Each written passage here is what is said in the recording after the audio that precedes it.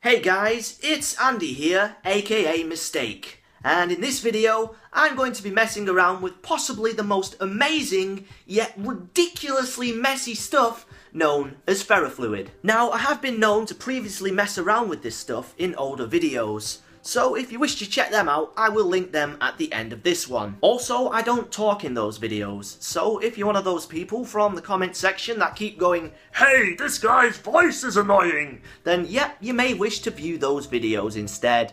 So, what is ferrofluid? Well, it's a material that acts like a liquid, but when introduced to a magnetic field, it becomes a kind of jellified solid. It's made from ridiculously tiny ferromagnetic particles that are suspended in an oil-like liquid. So um yeah, let's get to it. Let's watch the video. So I got a hold of a few of these 10ml tubes of ferrofluid from the internet. This stuff tends to be made from laser ink toner which contains those magnetic particles. I also found myself a bunch of metal objects ready to be magnetised. Using some old tapes to prop up the plastic dish, hey, I've been looking for that. I placed the magnet under the dish to secure the first object. I then added the ferrofluid using a pipette. Interesting, you can see the ferrofluid follows the path of the magnetic field down the sharp edges of the drill piece.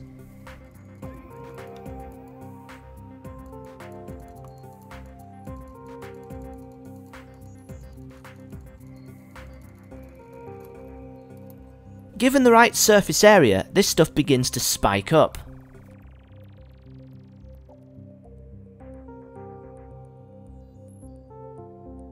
The spikes occur because the magnetic particles in the ferrofluid are lining up with the magnetic field.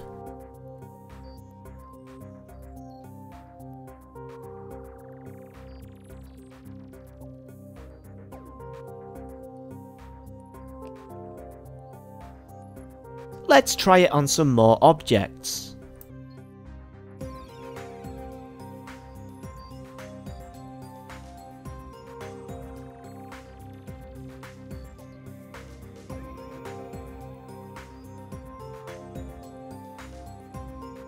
Pretty darn cool.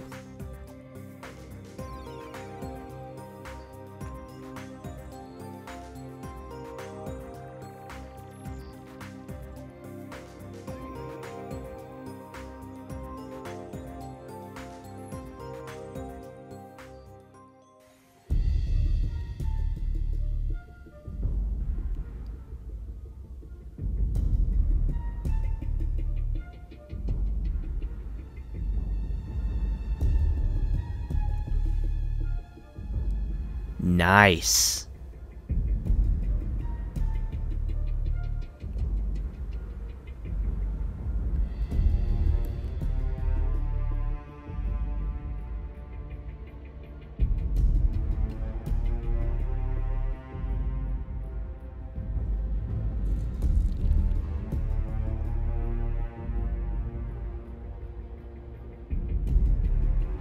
As you can see, like I said, this stuff is messy. In fact, it stains just about everything.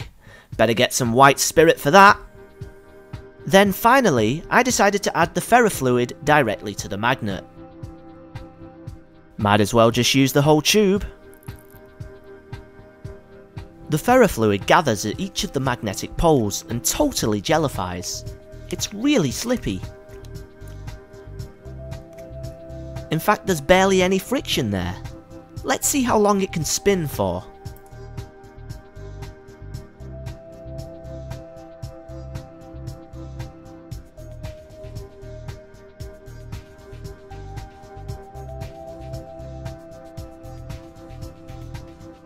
Okay, it's um, still going. Okay, well, whilst it's still spinning, here's the links to those other ferrofluid videos.